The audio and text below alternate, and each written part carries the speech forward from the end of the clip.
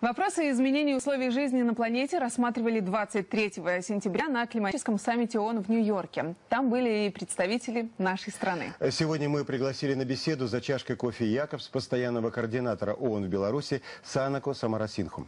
Доброе утро. Доброе утро. Доброе Главная цель этого саммита, какова она?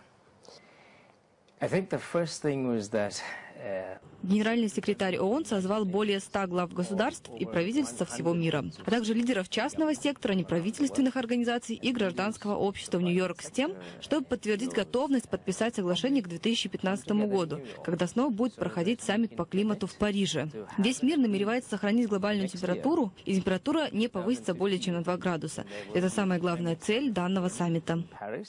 А, Но сейчас э, проблема климата, потепления на планете одна из самых серьезных, актуальных проблем в мире.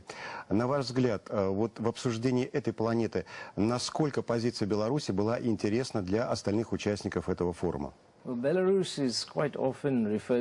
Беларусь очень часто называют легкими Европы. Более 40% вашей страны покрыты лесами. Вы помогаете миру и Европе дышать, и это очень хорошо. Но, конечно, с изменением климата и повышением глобальной температуры есть негативное воздействие на Беларусь. Поэтому данная тема имеет особое значение для Беларуси как с точки зрения положительного воздействия вашей страны на мир, так и с той точки зрения, каким образом Беларуси удается снизить негативное воздействие на себя как на страну. Uh, impact on Belarus. Санако, я знаю, что во время саммита были определены некоторые сферы, где нужны срочные действия. Расскажите подробнее об этих сферах.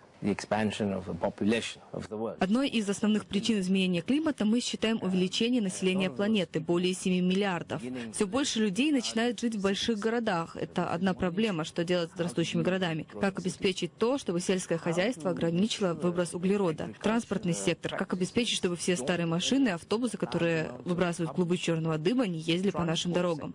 Как обеспечить то, чтобы мы а, могли адаптироваться к изменению климата и его негативному воздействию на нас и наши семьи? Также люди должны задуматься о том, как они будут платить за все изменения, не меняя свой стиль жизни. Итак, мы снова в студии нашего утра. Пьем кофе Якобс вместе с постоянным координатором ООН в Беларуси Санакой Самарасинхой. Санака, я бы хотела узнать, что может сделать каждый житель Беларуси, каждый житель планеты Земля для того, чтобы мы все-таки сохранили этот мир? Во-первых, нам необходимо быть в ответе за наши поступки. Мы не должны ожидать, что люди будут решать проблемы, которые мы создаем. Так, любой мусор, который мы выбрасываем, нам необходимо подумать, как его переработать. Если мы спиливаем одно дерево, нам необходимо подумать, можем ли мы всадить два дерева. У нас есть семьи и дети. Мы должны думать, какой мир мы оставим для них. Как мы будем их обучать, чтобы они, в свою очередь, могли позаботиться о мире и оставить что-то своим детям. Мы можем изменить мир, если мы осознаем тот факт, что мы и никто другой в ответе за наши поступки. Ну и еще в заключение нашей беседы хотелось бы узнать, э, как вы оцениваете уровень э, сотрудничества Беларуси с ООН? Каковы дальнейшие перспективы этого сотрудничества? Well, it's very important uh, for people to remember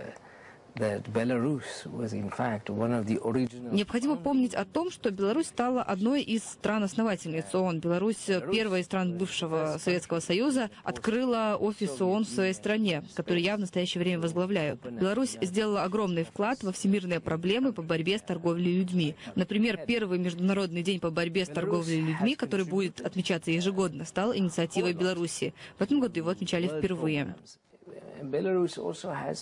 Беларусь сыграла очень важную роль и помогла миру научиться, как извлечь урок из ужасной катастрофы, такой как Чернобыль. А теперь Япония учится у Беларуси, это проходит через систему ООН. Беларусь стала примером для подражания в отношении роли семьи в обществе. В мире с этим есть значительные проблемы, потому что люди не ценят концепцию семьи. Беларусь играет очень важную роль в продвижении проблем и возможностей, с которыми сталкиваются страны со средним уровнем дохода, такие как Беларусь. Дело в том, что как только достигнешь среднего уровня дохода, люди считают, что все их проблемы решены, впереди только успех. Но у стран со средним уровнем э, тоже есть трудности. Таким образом, Беларусь сделала большой вклад на мировом уровне через систему ООН. Большое спасибо за то, что вы приняли участие в нашей программе, за интересную беседу. И наш традиционный презент от нас и от нашего партнера Кофе Якобс. very nice. Very Thank nice. you, and uh, we will see.